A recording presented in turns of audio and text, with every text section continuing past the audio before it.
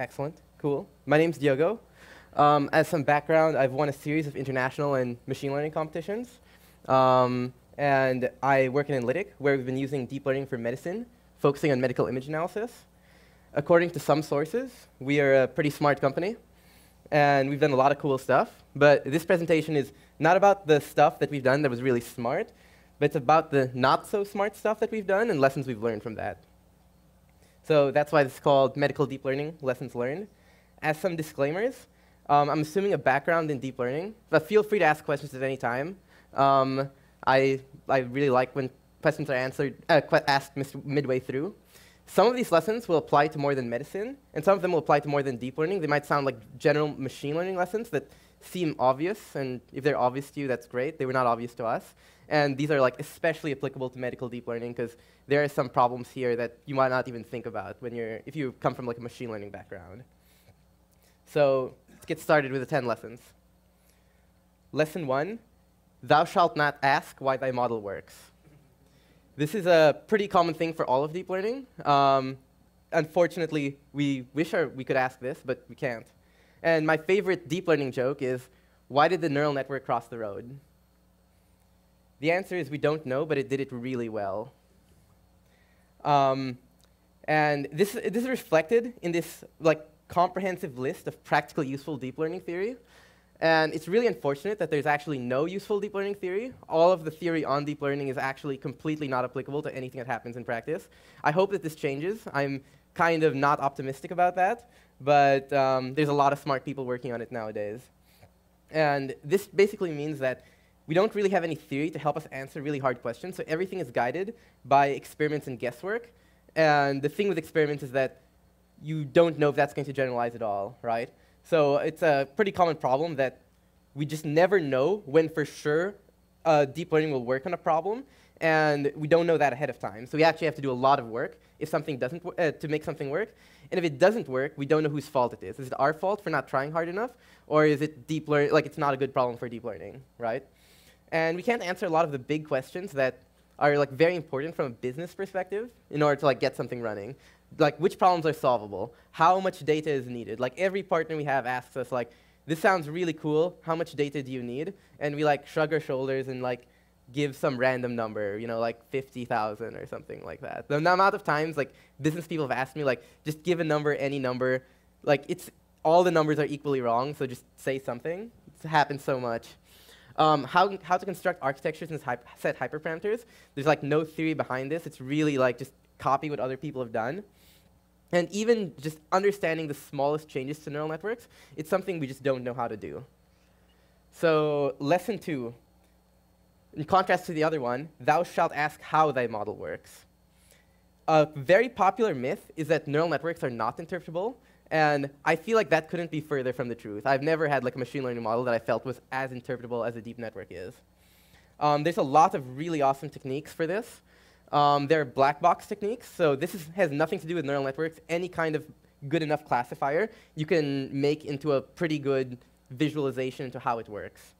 Um, so this one is an extremely simple one where you simply take your image, you block out part of your image, you run it through the model, and you do this repeated times using blocking out different parts of your input image and see how it changes.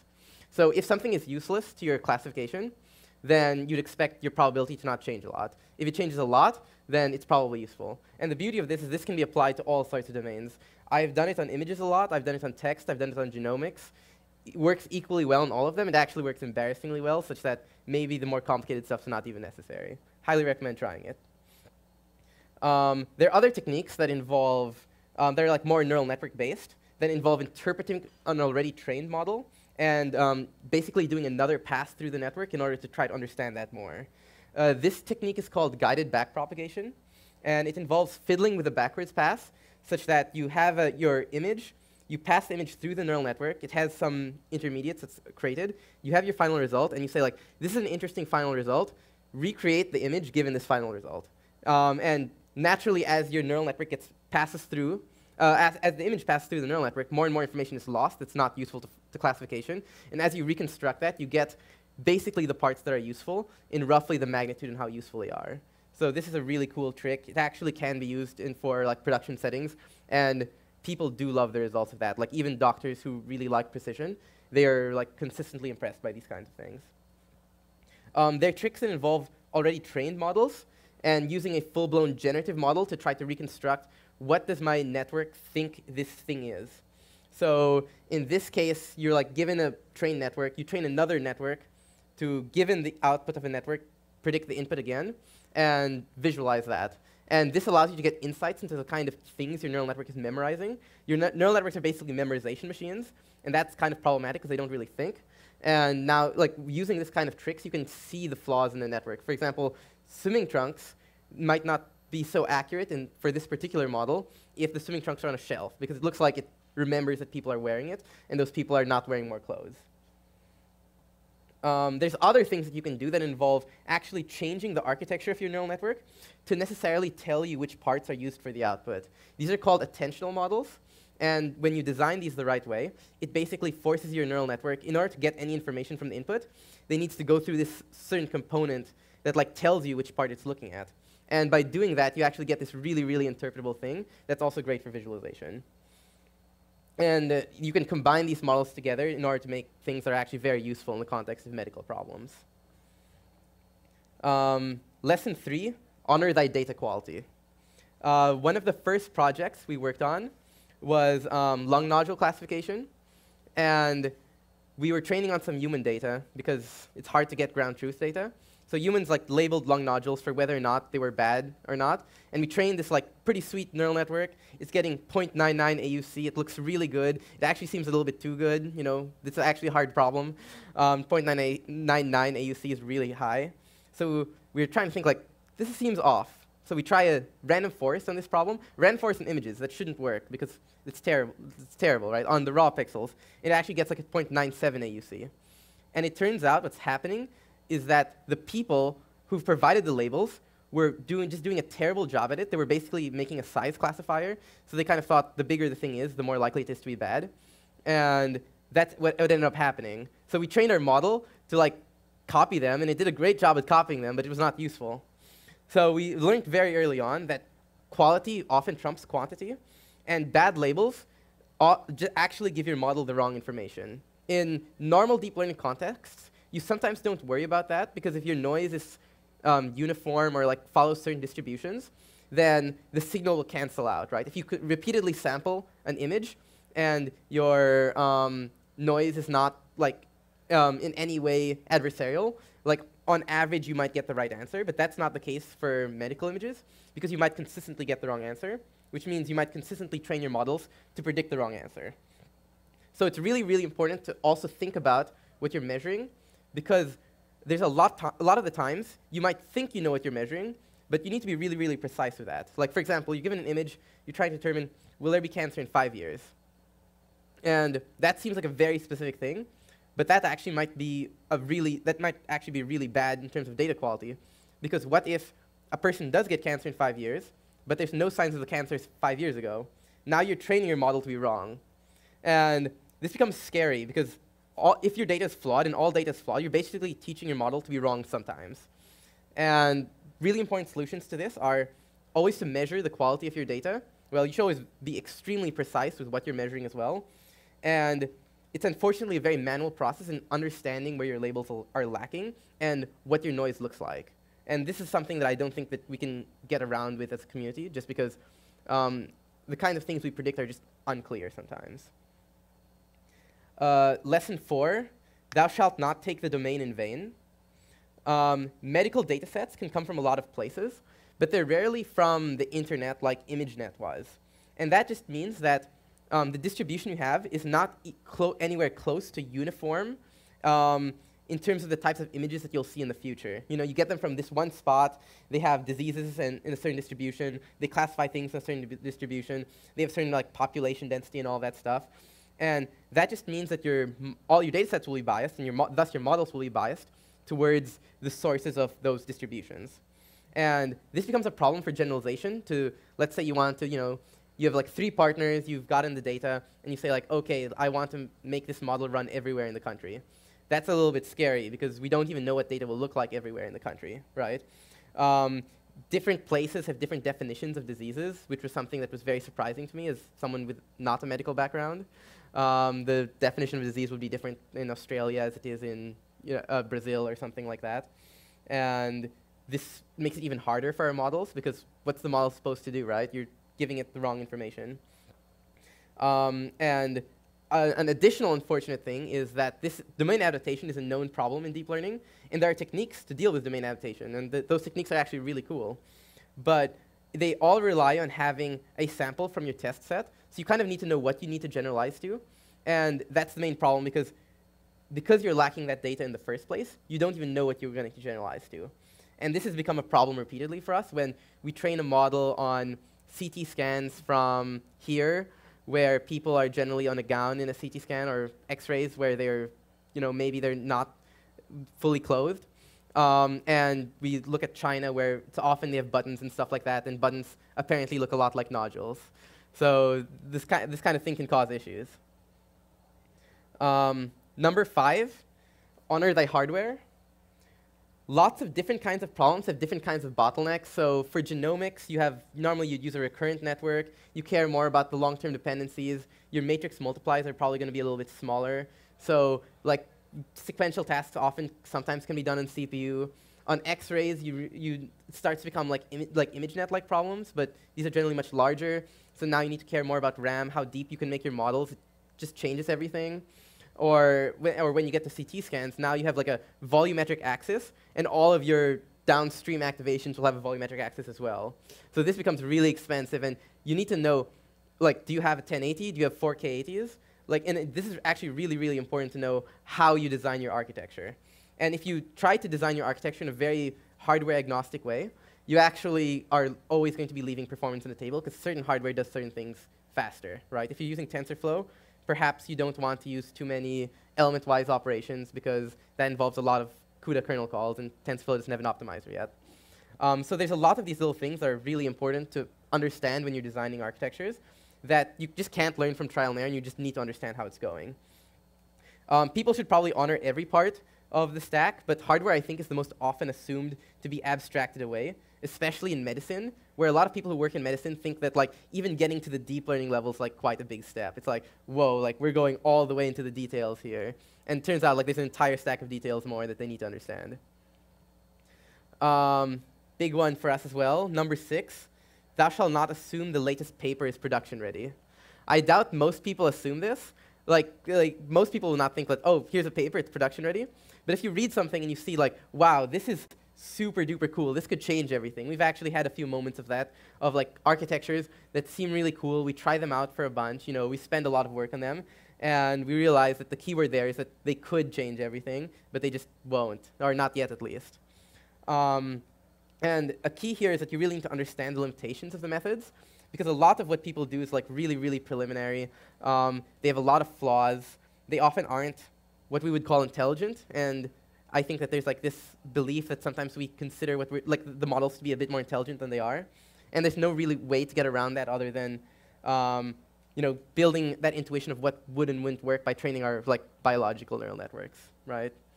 Um, there's a lot of examples of models being really dumb. I'm gonna skip this one, but I think this is a great one of like visual question answering. It can't answer how many chairs there are in this question.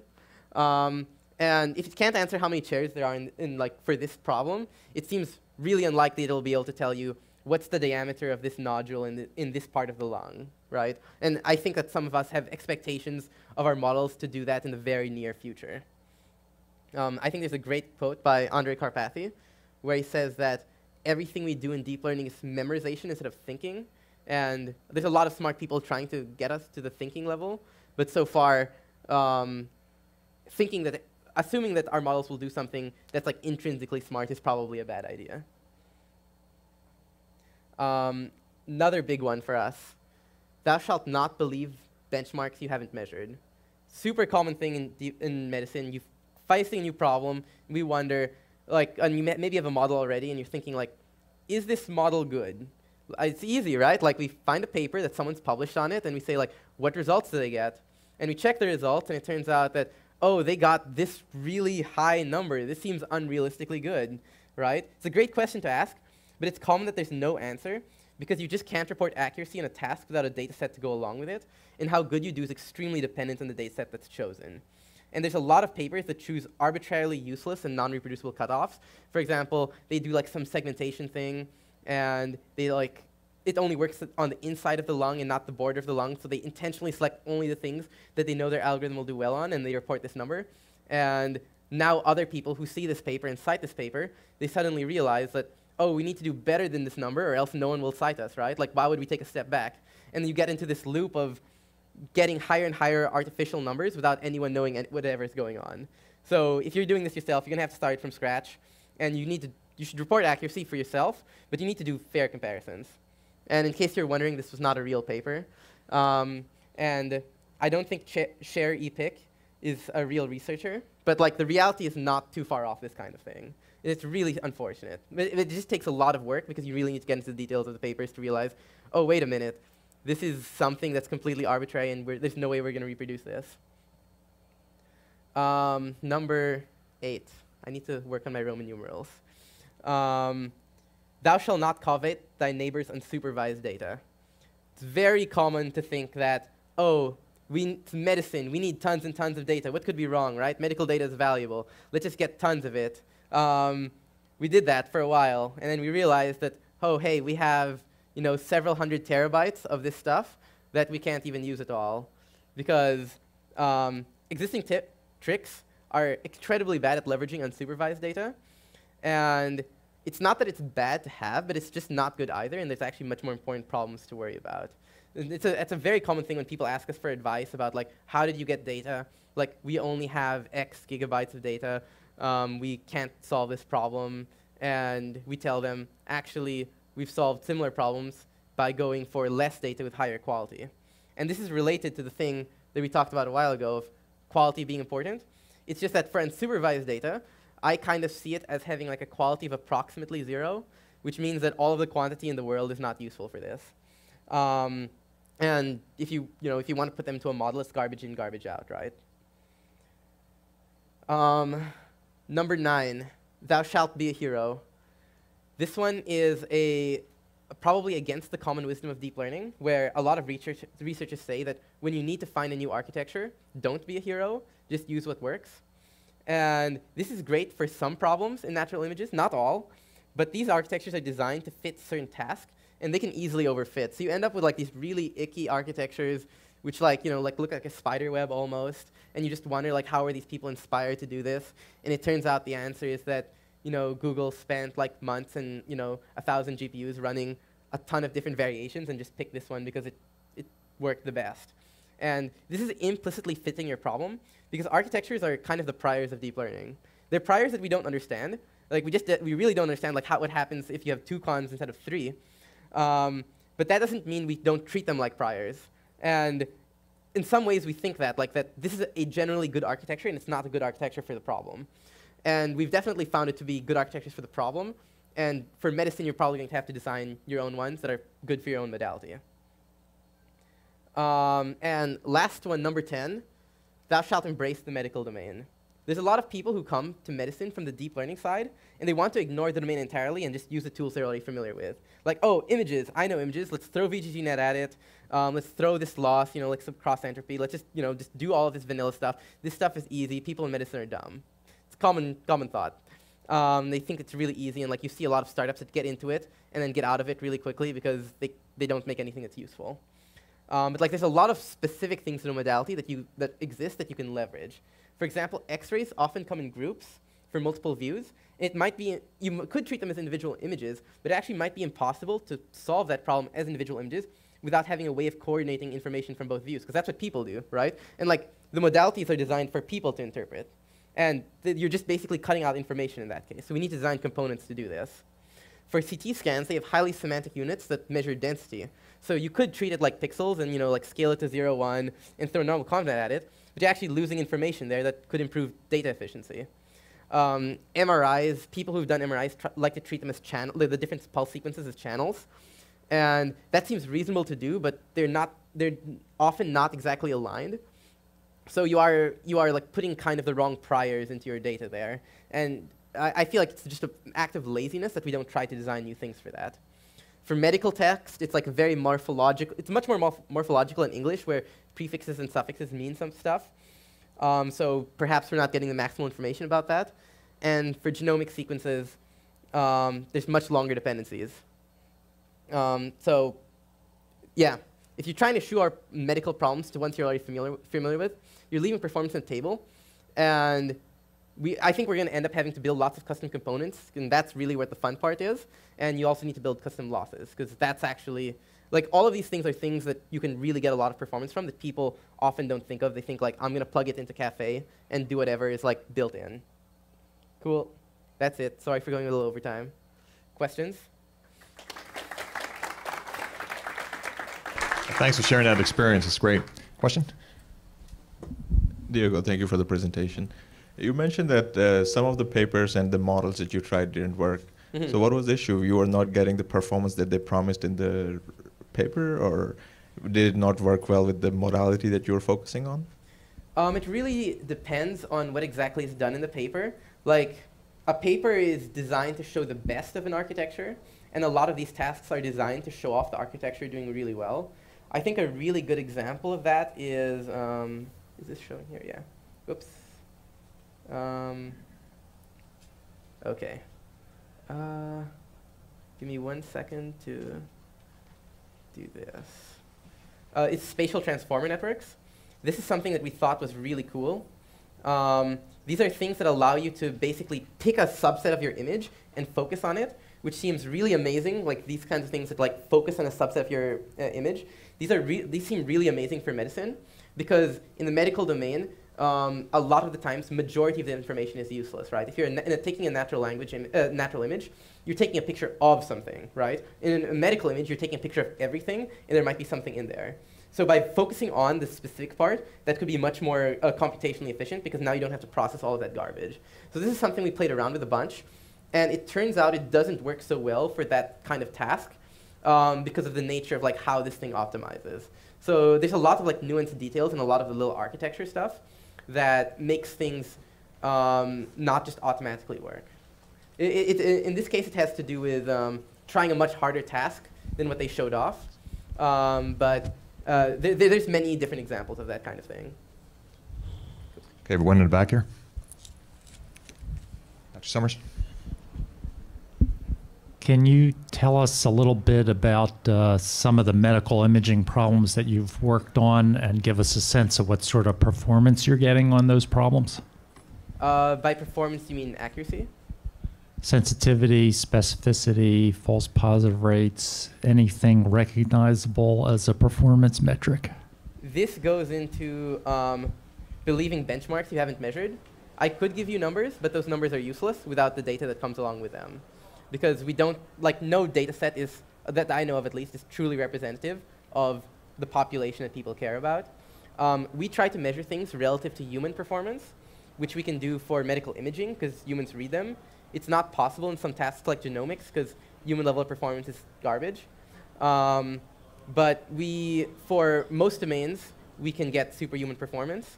But, um, and this involves detection, like detecting very small things in 3D scans, detecting things in 2D scans, detecting things that are actually very unclear, that are like in multiple images, as well as classifying disease. And we can get superhuman in, in these things, but take into account that we've chosen these tasks specifically because we think that we can do a great job at it. So that doesn't mean that we could get superhuman at every task. Okay, last one, quick. Hey, nice talk, man. That was it was nice to hear someone speak, you know, in a sober manner about deep learning, talking about cool. limitations and stuff, and mm-hmm. you know, combating the hype. Good work. I'm wondering, just so point your last, like two of your last three points. The point about not coveting unsupervised data, mm-hmm. and then your last point about sort of um, you know, being willing to kind of do the hard work to develop or create new mo- new loss functions, new modules, mm-hmm. layers, whatever. Um, I'm wondering if you could sort of link those two. So in some sense, you're right about like people shouldn't get overly um, uh, fanatical about trying to get all the data they can, especially when it's uh, unlabeled and unsupervised. Mm. But I mm. think there's a lot of settings in medicine where getting labeled data simply just isn't going to happen, and that I think there may be problems where maybe we're going to need to get creative about how to use unsupervised data or sort of weakly labeled data or weirdly labeled data. I'm just wondering what that's my intuition. How do you feel about that?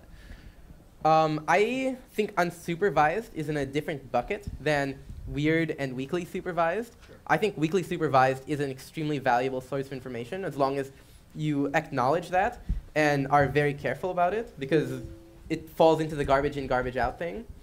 Um, I, I think that unsupervised data, using unsupervised data is an open research problem that we can't even solve for much, much, much simpler tasks than anything relevant to medicine. Um, or at least I don't know any tasks that simple in medicine.